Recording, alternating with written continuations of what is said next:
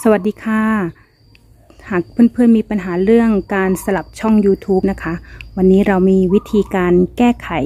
การสลับช่อง YouTube ให้นะคะ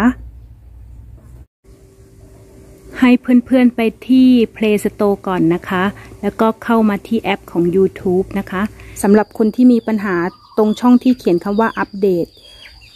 จะมีเขียนคำว่าถอนการอัปเดตนะคะ เพราะฉะนั้นให้เรากดไปตรงช่อง ที่เขียนว่าถอนการอัปเดตนะคะ เมื่อเราถอนอการอัปเดตได้แล้ว เราก็กลับไปที่หน้า YouTube เราเหมือนเดิม แล้วเราก็จะสามารถกลับมาใช้การสลับช่อง YouTube ได้เหมือนเดิมนะคะ เอาไว้ให้เพื่อนๆแก้ไขนะคะ หากตรง YouTube Studio ยังไม่สามารถที่จะสลับช่อง YouTube ไปมาได้ ก็ให้เพื่อนๆ ถอนการติดตั้ง YouTube Studio ไปก่อนนะคะ แล้วก็ให้ติดตั้งใหม่